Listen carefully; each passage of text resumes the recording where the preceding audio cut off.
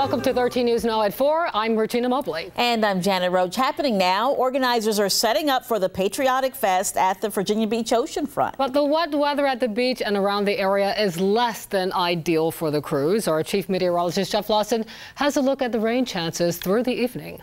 Well, the rain chances are relatively low, but they're certainly not non-existent. We've got a few things popping up. These are actually fair weather cumulus that you can see right now on Skyview, but we have some areas where it's bubbling up a little bit more right now out in central Virginia. In fact, we have a flood advisory out not too far from Charlottesville. They've uh, pounded out there yesterday and some big storms today. There's another one north of Richmond. What we're most concerned with is what's moving out of North Carolina. Like yesterday, it's tending to move a little bit more to the north it looks like it's tending to sort of hold its own or even dry out a little bit.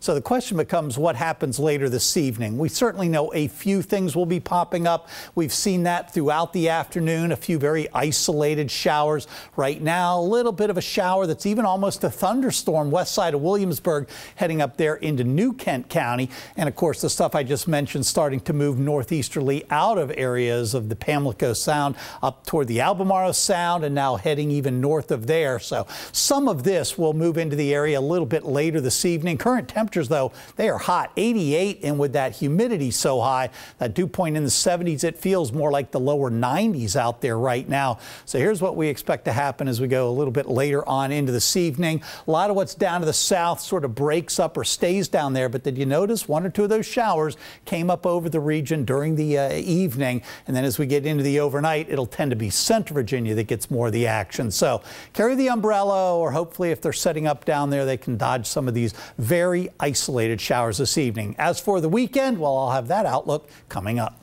Thank you, Jeff. Well, the official start of hurricane season is just hours away, and there's a push to make sure people are prepared. That's right. In Chesapeake, Virginia Governor Ralph Northam reminded people how hurricanes can affect families. In fact, many people are still dealing with the fallout from Hurricane Matthew in 2016. 13 News Now reporter Allie Weatherton is live. And Allie, you spoke with the homeowner who is rebuilding years later. Janet, they are still without a kitchen. Their appliances sit in the garage, and she says the worst part is they canceled their flood insurance four months before Hurricane Matthew hit. Now, in Chesapeake this afternoon, Governor Ralph Northam says it's important to have flood insurance even if you don't live in a flooded zone. Now, this is why I want to show you. Take a look at Angela Wilson's kitchen. She says the water damage was so bad, she and her husband had to rip all of the walls out and basically start from scratch. Right now, they're doing as much as they can with the money they have. Wilson says you can't worry about what happened in the past. She says you need to be prepared for the future, even if you don't live in a flood zone. Get flood insurance. It doesn't matter. Just get flood insurance because you never know what's going to happen.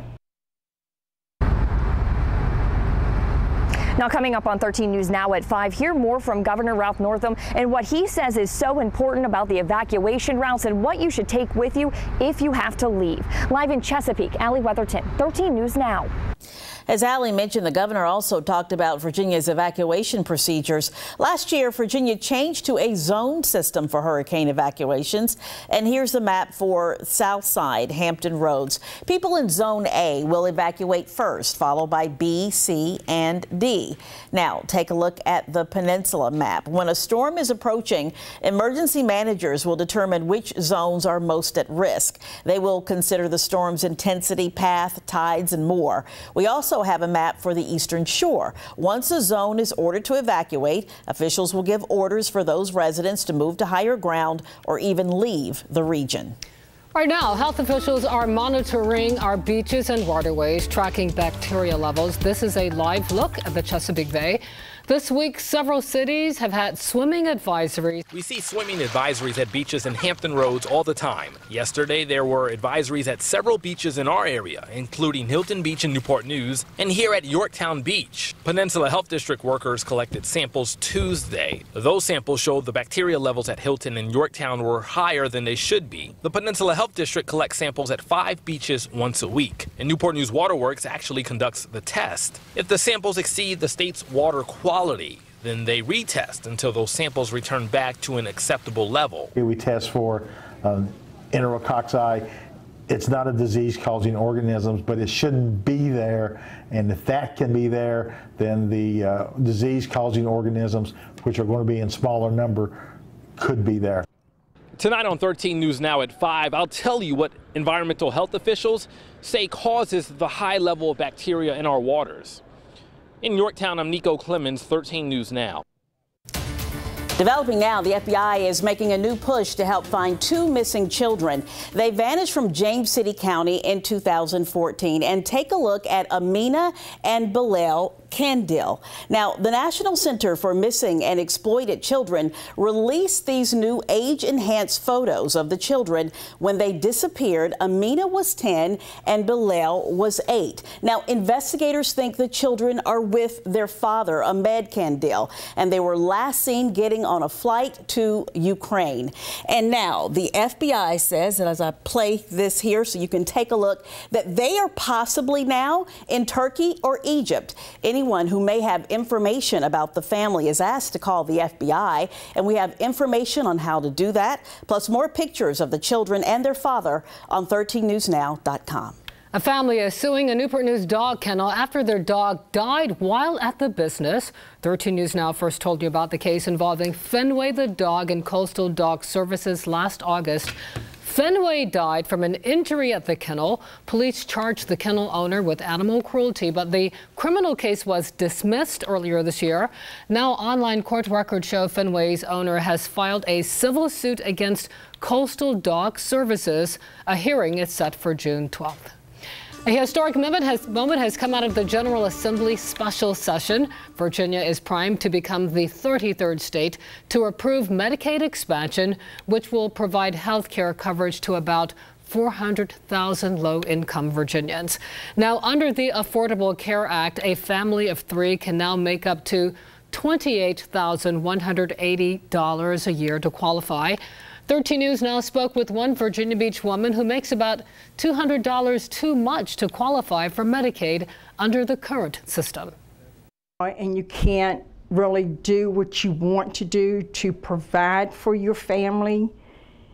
And, uh, and you're given it, you're all, and you ask for some, for some help to get me the help that I need and you're turned down because you make too much money.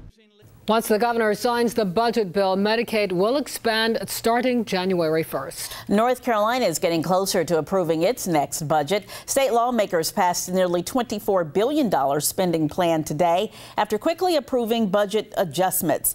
The State House has debates and votes scheduled today and tomorrow, and then the budget heads to Governor Roy Cooper's desks for approval. And the new budget includes pay raises for teachers, troopers, correctional offers, officers, that is, and other state employees. Today, the Army Corps of Engineers commissioned its newest ship. The new survey vessel is called the Ewell. The 61 foot catamaran will be used to lift debris out of the water. 13 News Now reporter Elise Brown was there for the commissioning ceremony and has more on the ship. She's faster, a whole lot cleaner, and smarter. Let me get the crane operational. This is a very fun four and a half million dollar toy. They actually let me operate it. Stephen Feldhaus is captain of the Ewell. It's the Army Corps of Engineers' newest ship. It's replacing two ships, including this one built in the 1950s. The primary mission of this vessel is survey. It's uh, surveying the federal channels, encompasses about 100 square miles from the Norfolk District. Using sonar, the ship detects the depth of the channel. Our shipping channels are basically our roadways of the of the water. Dusty Brook analyzes the depth and compares it to what the standards say it should be. The red are the, the shallower depths. So up here, this is uh, going up the side slopes of the channel. The ship removes debris above and below the surface. If items are too large, they can call in help from divers or salvage companies. One of the most unusual things they've ever removed a car. Where did you guys find it? That was in the Dismal Swamp Canal. Did you find out the backstory of the car? I did not, unfortunately. You still kind of want to know? Yeah, it would be really neat to find out. On top of the Ewell's mission, Captain Feldhaus adds one more thing to the list. The whole goal is to be happy, then you have an enjoyable work day. In Norfolk, Elise Brown, 13 News Now. This weekend, some local sailors will say goodbye to their families. The USS Jason Dunham deploys on Saturday. The guided missile destroyer will head to the Mediterranean and the Middle East. 13 News now wishes the crew safe travels on their deployment.